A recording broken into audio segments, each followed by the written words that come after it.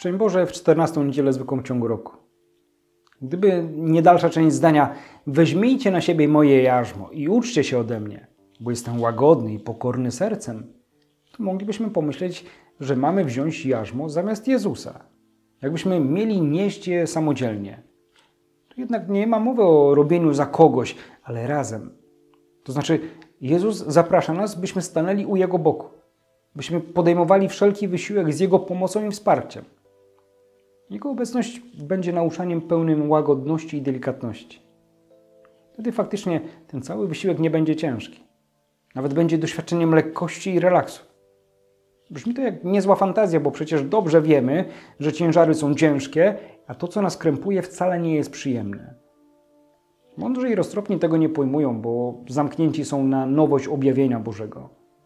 Wydaje mi się, że wszystko wiedzą, a Bóg przecież zaskakuje nas na każdym kroku. Prostota w podejściu do wiary sprawia, że stajemy się wrażliwsi na różne działania Pana Boga. To, co od Niego pochodzi, chłoniemy niczym gąbka wodę. Potrafimy się zachwycić, zdumieć, podziwiać obfitość dóbr pochodzących od Boga. Kiedy Bóg stwarzał człowieka, obdarzył go zdolnością poszukiwania i poznawania prawdy. Taka przecież była wola Pana Boga, by człowiek nie siedział z założonymi rękoma. Czasem jednak możemy się w tym poszukiwaniu zapędzić i pominąć to, co jest najistotniejsze.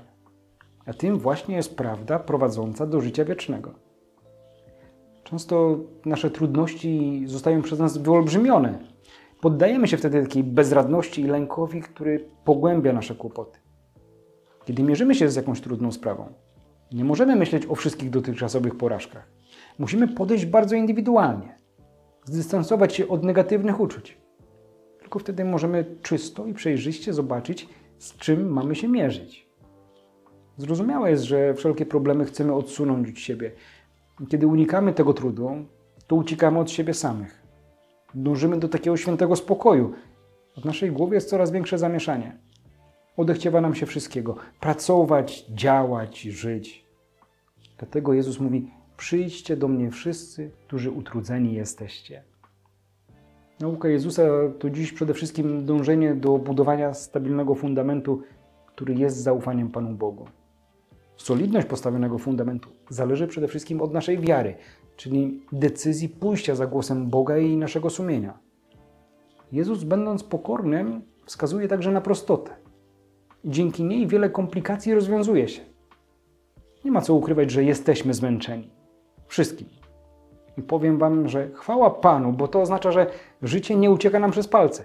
Nie stoimy w miejscu i ciągle jesteśmy potrzebni. Bóg rozumie nasz trud, zauważa naszą kondycję. I choćby wydawało nam się, że receptą na nasze uciążliwości będzie kolejny ciężar, pamiętajmy, że trud poniesiony z miłością staje się lekki i słodki. Nie możemy redukować naszego życia wiarą tylko do wypełniania przykazań, bo stanie się ono dla nas nie do uniesienia. Droga do nieba otwiera się w najświętszym sercu Pana Jezusa. Nie musimy nic kombinować, niczego przeliczać czy też usprawiedliwiać się. Wystarczy zawierzyć Jezusowi w całości z naszymi grzechami. Niby to jest niewiele, niby tylko tyle, a jednocześnie aż tak dużo. W sercu Jezusa to mało powiedzieć, że Jego miłość jest wielka. Ona jest niepojęta. Codzienny kontakt ze Słowem Bożym, ta niedzielna Eucharystia, adoracja Najświętszego Sakramentu, medytacja to czerpanie z samego źródła, które prowadzi do prostoty i pokory serca. Przemienia nas duchowo, jest takim wewnętrznym balsamem, przynosi ukojenie duszy. Przemieniając nas, przemienia innych, wnosi dobro i miłość w świat.